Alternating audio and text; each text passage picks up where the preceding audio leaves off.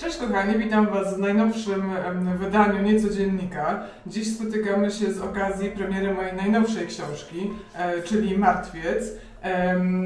Także no jest to dla mnie szczególny czas, e, bo każdy autor myślę jest bardzo uczuciowo związany ze swoimi książkami. Stąd też dzisiaj zobaczycie i poznacie moich e, bardzo bliskich e, przyjaciół, właściwie rodzeństwo z innych rodziców. Mam nadzieję, że się nie obrażą za to określenie. Ale oprócz tego będą też inni goście, których bardzo lubię. Mam nadzieję, że Wam się spodobają. Jeszcze więcej zdradzić na ich temat nie mogę, niech to będzie jakaś tam niespodzianka, chociaż tak naprawdę e, pewnie w nazwie tego filmu już się zorientowaliście, kto tu jeszcze zawitał. Oprócz tego e, zabiorę Was na krótką wycieczkę e, śladem tej powieści, czyli zobaczycie sobie miejsca z książki. No i być może gdzieś tam e, wstawimy sobie jakieś przebitki o tym, jak ta książka powstawała w drukarni, czyli samo serce tej książki. Także zapraszam Was bardzo serdecznie i widzimy się już za chwilę.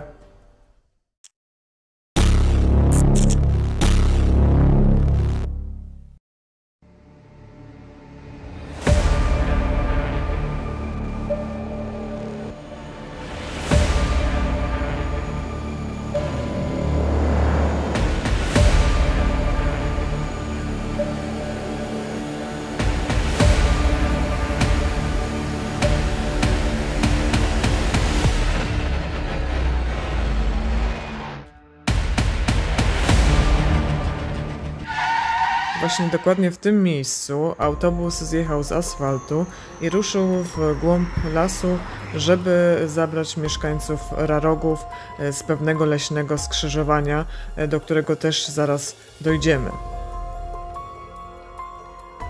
W autobusie była dosłownie garstka pasażerów, e, bo to nie był taki autobus, jak być może sobie wyobrażacie, taki jak w mieście.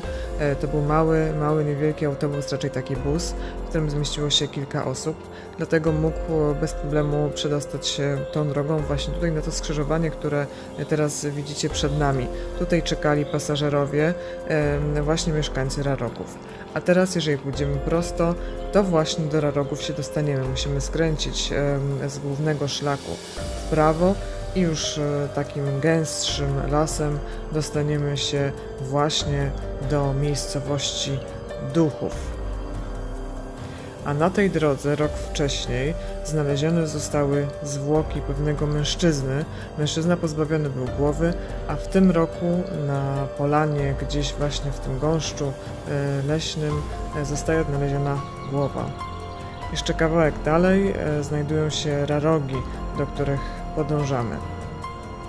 Kto się odważy tam zapuścić, bo już idziecie tam teraz na własną odpowiedzialność.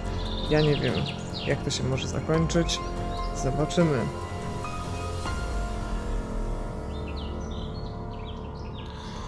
Głowa ukryta była w niewielkiej rozpadlinie osłoniętej korzeniami. Obok tkwiła piła mechaniczna, częściowo zagrzebana w ziemi. Chyba ktoś próbował ją zakopać, ale zrezygnował w trakcie. Narzędzie było pordzewiałe, na pierwszy rzut oka nie dało się orzec, czy dlatego, że znajdowało się na tej polanie na tyle długo, że warunki atmosferyczne zrobiły swoje, czy też było już dość zużyte, kiedy je tu umieszczono. Jedno wydawało się natomiast dość oczywiste. Piła z dużą dozą prawdopodobieństwa mogła posłużyć do odłączenia głowy od ciała. W rarogach kolejne niepokoje. Matka zamordowanej kilka dni temu dziewczyny rozkopała grób, twierdząc, że jej córka żyje.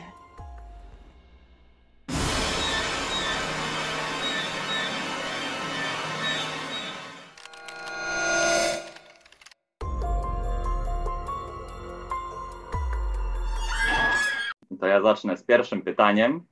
E, posłużę się małą ściągą, bo będę trochę czytał. Podczas promocji Martwca Wspomniałaś, że krótkie formy literackie rządzą się innymi prawami niż długie i niosą ze sobą zupełnie inne wyzwania. Najdłuższa twoja książka, Siereżoga, ma 860 stron. Aktualna, czyli Martwiec, ten najlepszy, 515. Zatem pytanie, jakie były największe techniczne różnice w pracy z krótką formą literacką? To jest bardzo, bardzo O Jezu, trudne ja już pytanie. zapomniałam początku pytania. No więc właśnie. E, no, ja nie mogę się skupić przez te twoje wąsy, Darek. Pewnie mi odpadną niedługo. E, No więc Martwiec faktycznie jest e, moją najkrótszą e, książką, zwłaszcza w porównaniu do Żogi. Niektórzy zgłaszali sprzeciw, że co taka krótka. Nie wiem, czy co wy o tym myślicie. Wolicie krótsze czy grubsze? Krótsze, bez zbędnych długich opisów. Ale A ja dla odmiany dłuższe. no i widzicie, właśnie nikogo się nie da zadowolić. e, Znaczy wszystkich, znaczy da się zadowolić kogoś, ale nie wszystkich. E, No ja staram się, żeby tych opisów nie było, nawet ta książka jest długa. Znaczy są opisy, ale nie takie, wiecie, przesadne. Nie są Czy- kingowe, całe szczęście. Puzyjskie. No więc w każdym razie jest tak, że kiedy pracuje się nad dłuższą książką, to oczywiście trzeba tych wątków ogarnąć bardzo dużo. Tym bardziej, że właśnie tu nie chodzi, ta długość nie, nie powstaje przez opisy, tylko przez wątki, które tam sobie tworzę. Których Ja ja, bardzo- później gubię. No staram się, żebyś się nie gubiła, e, ale, e, ale lubię jak jest taka wielowątkowość, tak, taką już mam naturę. Im więcej wątków, tym jestem bardziej zadowolona.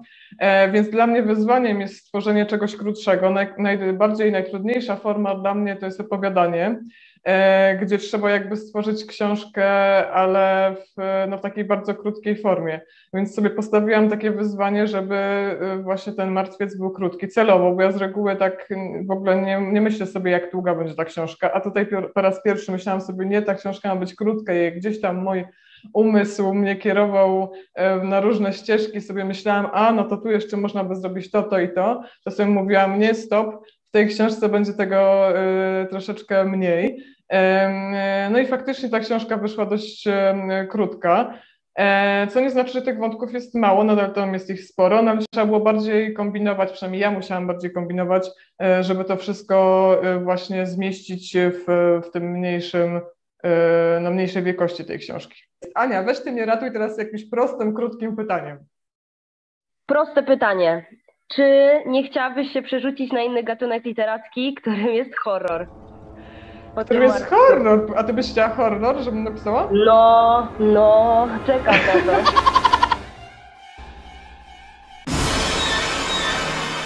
A ja się boję horrorów, ale wiesz, nigdy nie mów nigdy. To nic. To nic? A jak ja bym się potem bała, to będę do ciebie dzwoniła cały czas. No to Będę pisała i będę do ciebie jeździć i cię pilnować przed strachami, różnymi demonami i w ogóle. Ale u mnie troszeczkę tych takich horrorowych scen też jest.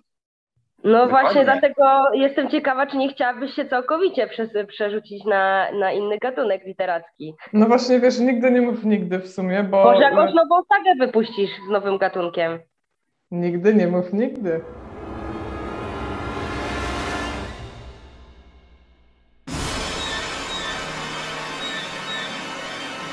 No dobra, to Darek, teraz twoja kolejka. To ja. Teraz będzie krótsze pytanie, co nie zmienia faktu, że treść nadal się jakaś pojawia. Niejednokrotnie mówisz, że liczba 13 na przykór wszystkim przesądom jest twoją szczęśliwą. Czy fakt, że martwiec, znowu martwiec, jest 13 częścią sagi w Lipowie, ma jakiś pozytywny wpływ i, i na twój odbiór tej książki i w ogóle na to, jak właśnie powstawała, że to jest 13? A oprócz tego jeszcze premiera 13 lipca miała miejsce. Przypadek? Nie No właśnie. Wszystko się zazębia, słuchajcie. E, I chciałam tak na przekór wszystkiemu, żeby ta książka właśnie była taka. e, e, nie wiem, jak to powiedzieć. Ona jest taka troszeczkę lżejsza. E, nie wiem, czy tak ją odebraliście. Nie wiem, czy wszyscy przeczytali. E, Nie powiedziałbym, że jest lekka. Ja już ci powiedziałem swoją opinię po trzecim rozdziale, co ja tam Po co? widziałem. ale Darek, przyto- przytocz swoją opinię, żeby była nagrana. A nie, no nie, no gdzie, gdzie? Ja po No prostu. powiedz. Ja po prostu po pewnej scenie, tam właśnie jak dobrze pamiętam, w trzecim rozdziale stwierdziłem, że bardzo dużo osób mo- może nawet doznać jakichś uszczerbków zdrowotnych, łącznie z cofnięciem się treści żołądkowych. No, faktycznie tam jest taka dość makabryczna scena e, związana z grobem. tak. E, ale wiecie co, ale no. e, Czytałam, faktycznie- czytałam. Faktycznie tak jest, że one są te sceny takie. e, e, straszne, ale ja pisałam tą książkę z innym nastawieniem. To jest jakby inaczej, jak, y, ja też przeżywam te losy tych bohaterów, prawda? Pewne wątki się zamknęły w tej poprzedniej książce e, i po prostu tutaj mogłam tak jakby wyruszyć z impetem z kopyta do przodu i może dlatego troszeczkę łatwiej e, pisało mi się tę książkę, e, tak lżej, mimo że tematyka wcale lekka nie jest. Teraz ostatnio miałam kilka wywiadów e, i w sumie byłam taka zaskoczona, ile ci dziennikarze wyciągnęli tak naprawdę z tej książki, jak dużo tych wątków tam jest poruszonych. Ja nigdy nie myślę sobie tak bardzo, wiecie, że teraz poruszę ten, ten, ten, ten i ten wątek, tylko to tak jakby naturalnie się dzieje. Kto teraz zadaje pytanie, Ania? Ania. Ania, Ania, powiedz mi, skąd pomysł na nazwę wsi Rarogi? Darek szukał w goglach, nie ma takiej wsi. Czy A wy e, czapalce spiskowaliście, spiskowaliście za moimi plecami, już coś tam omawialiście. Tak. Jeszcze się przyznała. Czyżby Wiedźmin maczał palce w tym wszystkim? E, Wiecie co, e, Rarogi, mm, ponieważ utopce nazywały się utopce, e, to też była wieś, e, w- e, pomyślałam sobie, że o fajnie będzie, jeżeli będzie troszeczkę podobnie, czyli stworzę sobie wieś jakąś, która będzie miała nazwę po jakimś tam słowiańskim Czyli. tak to nazwijmy.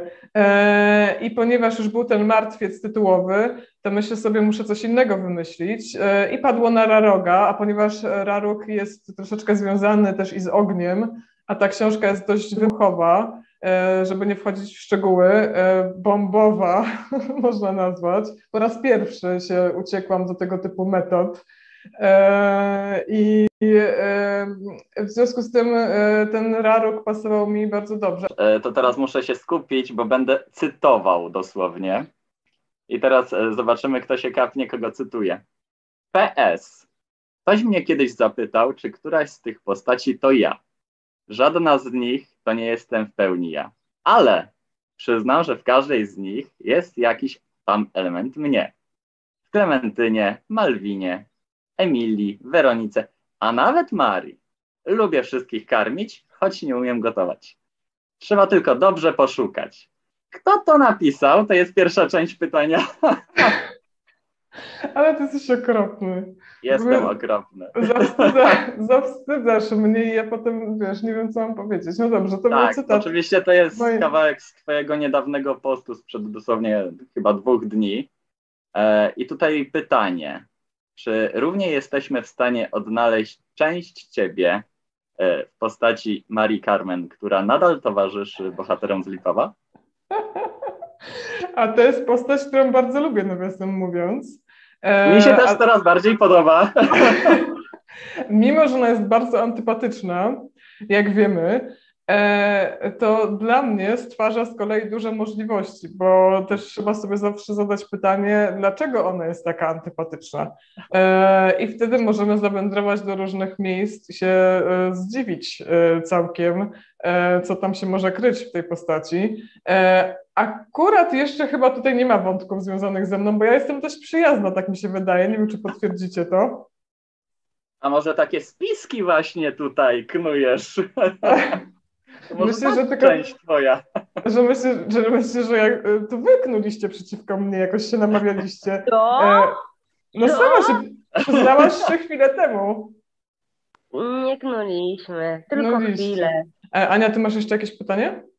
Nie, Ale możemy sobie zadać pytanie i odpowiedzieć od razu, bo w sumie Kasia nam pomogła. Będzie kolejna część. Ale jesteś wstrętny! Nie potwierdzam i nie zaprzeczam. Tak, a teraz moja prawdziwa twarz bez wąsa. A o co chodzi z wąsem? Więcej w książce.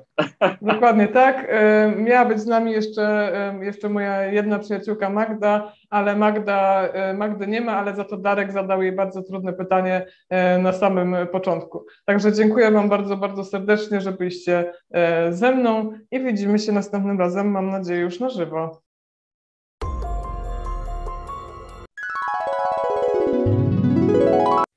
Kiedy nagrywałam ten filmik, moja kamerka zaproponowała mi efekt glamour, żeby się upiększyć oczywiście. Jakie było moje zaskoczenie, kiedy zobaczyłam, jaki tak naprawdę jest ten efekt? Także uważajcie, do zobaczenia raz jeszcze. Efekt glamour przed Wami.